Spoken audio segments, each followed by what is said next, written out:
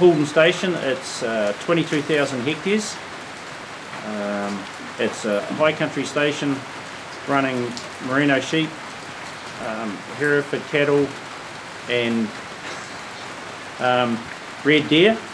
And uh, there's 14,000 sheep, um, 1,200 cattle, and 6,500 deer. Uh, we have a staff of 10, do all our own um, work on the farm other than shearing. Uh, try to finish all our, our livestock now. We've uh, diversified over the last few years so that we were uh, mainly a store place originally and now we've gone into uh, finishing all our all our fawns um, and getting them away at uh, 15 months of age. Um, same with our lambs, fattening our lambs and doing our beef. The area is, as I said, Mackenzie country, so it's other than today, it's um, quite a low rainfall area, so it's got a lot of desert desert land, prone to droughts, prone to um, very cold winters. We range in temperatures from, uh, in the summers we're regularly in the 40 degrees and in the winters we are quite often down to minus 15 and lower. Uh, regularly minus 10 for the winter. So um, it is an extreme climate, but um, during the summer it can uh, grow grass when we get the right temperatures or we put the water on. It's um, a, a, nice healthy climate, but a cold one. Um, we're standing in the Stony Stream right now, and this stream it actually has the catchment area of over 400,000 acres. So um, rainfalls here are quite uh, infrequent. So like in the last five months we've hardly had a, a shower or two. So when it does rain, uh, a normal rain for us is around about 10 mils. Um, but if we do get a two or three inch rainfall, um, you know, a, a, reasonable one over two or three days, this, these catchments, and that's why this shingle's like this, it shifts a lot of water, so we have to be available for it, and they can come at any time. Our annual rainfall is only um, about 14 inches. The stream like this dries out because of the very alluvial soils and shingles, as you can see, just disappears for most of the summer. So that environmentally causes a few problems. We've got quite a lot of um, border dike irrigation and some spray irrigation, which is reliant on it. But um, when you get a drought like we've just been through, we're restricted with a low flow, and that causes some um, problems on our on our deer block for uh, feed for, for stock and for water access for troughs and, and natural water streams. So um, it does cause quite a few issues. This is the header race down the outside and then we've got sub races running off across each, each block and each block's watered from there but they're all fenced off. So you can see the deer haven't been able to get at this. So You'll see areas where they can get because I have to give them water every now and again and I'll show you what we've been doing there to try and oh, stop oh, yep, it shifting yep. too. This is the, um, the briarberry. We're covered with a, with a lot of briar in this country. That's our main weed. But um, there's uh, a couple of groups in New Zealand that are actually harvesting this stuff and uh, the, they har harvest those berries and take out the vitamin C.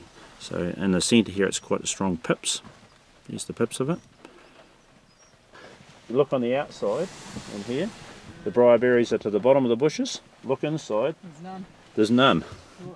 If uh, and there is at the moment because the deer have been out there for a while, but as soon as you put deer back in a block with briar on it, the first thing they do is clean every berry they can find. So they like them. Love them. They walk around and eat every single berry. So we use the deer at different times of the year to actually manage the briar weed. Yep. Now outside the deer farm, we have to control the briar with um, metsulfuron and helicopters. Okay. To open the gullies up because the sheep won't eat it. Yep. The cattle will, but they just spread it. So. Okay, so this is um, the Stony Stream. So it's, a, it's, the water where we take our, our water for the irrigation. Um, and that's just behind me there. There's a weir where it's taken off and that turns it around onto the flats for border diking. A control gate just over in behind that sprayed broom there. But you can see what's running over top of the weir and going on down. We're still just in the foot of the hill at the moment 300 metres out from here, this water just disappears into the shingle, which it does every summer. So where we were looking before, where there was absolutely no water, same stream, but just disappeared into the into the shingles. So at the moment, this was measured on uh, Monday, um, there was 495 litres a second of water flowing down this stream. So there's nothing been, been able to be taken this year for border dike irrigation since the 19th of January because of the low flow restrictor further down. This is where um, the irrigation comes around from our water take in the Stony River. It comes around to what we call our control structure. So when I'm border diking, on the, the right hand side there, far side, we've got a canal going down which will turn it down. I can turn the water on, it can be measured with that staff gauge there. Um, at the moment it's off. And this other way is where we're using to uh, for a stock water race. Plus at the moment I'm running water right around that and bringing in into the lower reaches of Stony to keep the river flowing for the trout and the fish down the very lower reaches. So that's just running around for recreational purposes to be honest and a little bit of stock water. They also have um, stock water trough taken off a sieve in there and water tanks in behind where you're standing. I turn the irrigation on from that winding gate up there, the border dike irrigation. I can turn 320 litres of water down here. When I turn it down, it, that gives me an idea of what the height of it is, for that wee staff gauge. But inside here, there's a telemetry gauge. And that's just a solar panel to run it. And that's real time, all time, straight back to ECAN.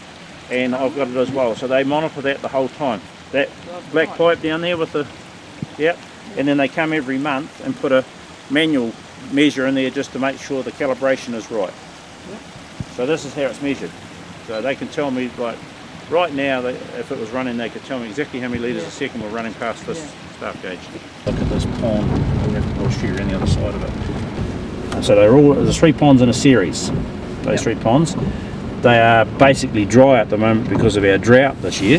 These ponds, we put them in six, seven years ago to catch the sediment and the nutrients shifting off the border dike irrigation.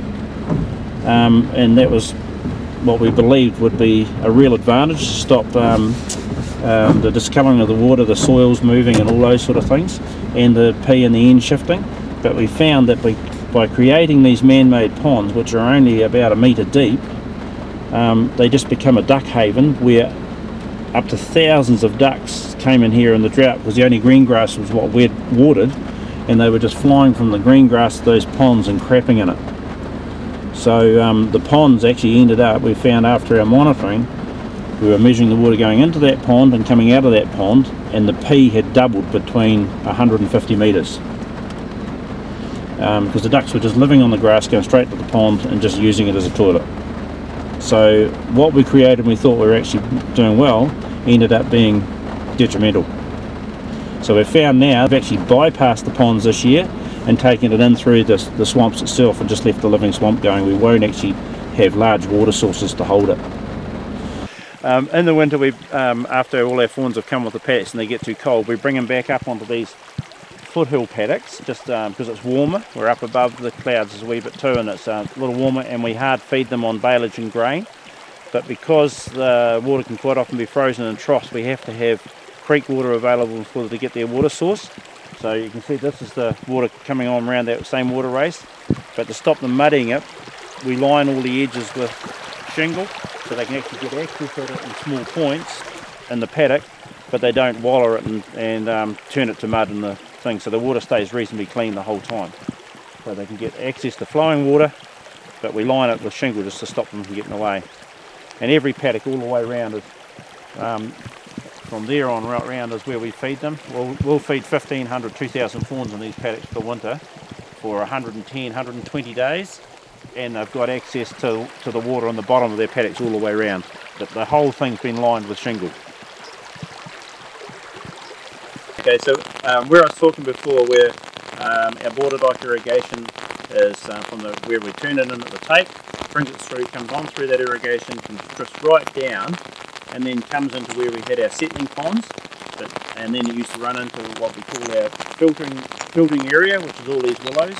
Now we've bypassed the, the, the ponds and we just run it straight into these the swamp area here, filters out all the nutrients and settles any soil shift from um, seasonal flushes of rain off the hill before it goes on down the stream behind me and enters into Lake Benmore, which is only another K further on down.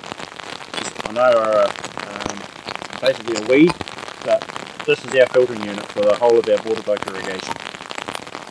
And the catchment of the hill, to be perfectly honest. So it's a filtering unit for the whole lot.